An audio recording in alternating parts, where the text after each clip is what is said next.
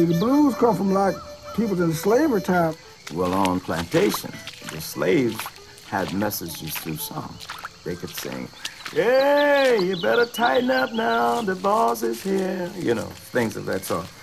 Nobody understood what they're talking about, but the slaves did. They knew what he was talking about. that meant the boss is on the way. You better, whatever you're doing, get back to it.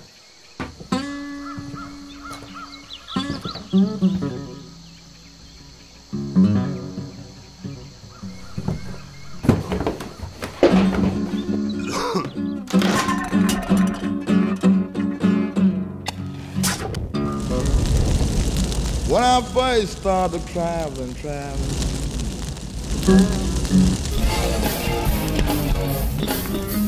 See you and all you do.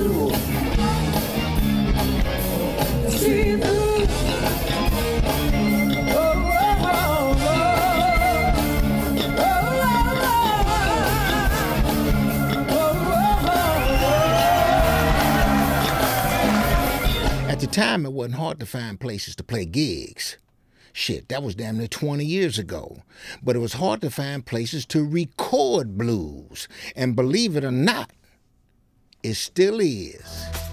I mean, nowadays, almost everybody seems to have his own little set of Pro Tools or whatever. But where do you find a home studio where you can record live drums? Where they have a grand piano? Or even a Hammond B3, a studio that offers separated rooms to stack some backline so you can control spill between the instruments during the mix. Filling tracks is one thing, but to record a blues band and make it sound together like it's playing live is something else, man. I thought that all was cool. So I set out to find a studio that not only could record blues, but could produce as well. I found one. About 10 miles south of Rotterdam, in a tiny rural village, I found Studio Westmaas. Man, basically in the middle of nowhere, but that's why you can work there 24 7 part of the Rotterdam-based RBS group and owned by this cool motherfucker called Rene van Broekhoven, who not only knows how to record, but how to produce as well. He plays several instruments. He's been in the business more than 40 years. He respects musicians. He knows how to communicate with them. He knows what makes them tick, and he sure knows how to make them sound the way they like to. But hey, that's only me talking, you know what I'm saying. Let's check some of the music Rene produced at Studio Westmaas. In the meanwhile, let's have a quick studio tour.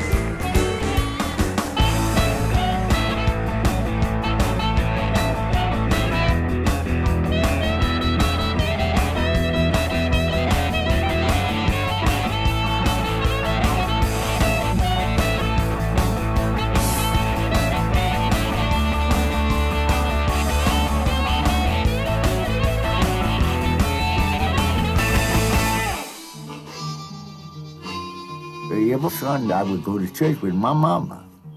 She said, if you want to go to church and you want to play music in the church, you going to play music in the church, uh, you want to go the other way, that's your business. I said, yes ma'am, I'm going the other way.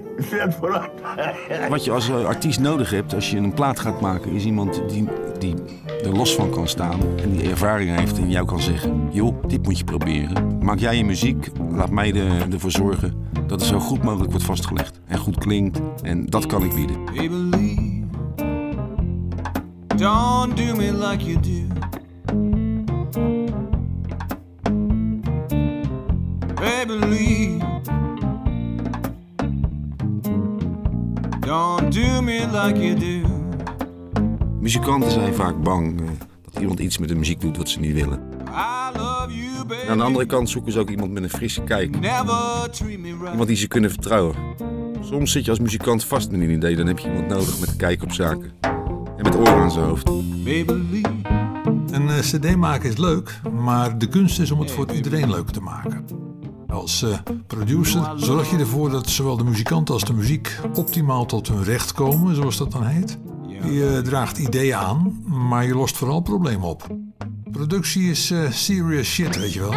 Maar er moet ook wel kunnen worden gelachen. Well, that's it, baby.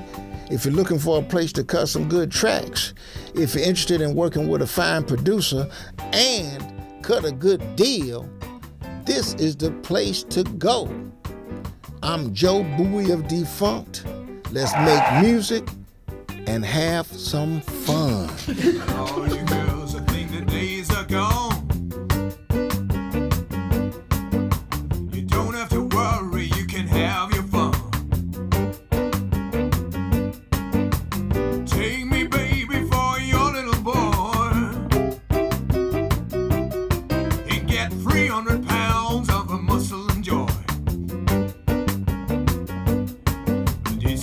Als je al je, je hart en ziel in een nummer hebt gestopt, heb je gewoon iemand nodig die naast je staat, meeluistert en die niet zo emotioneel betrokken is bij die song of die track.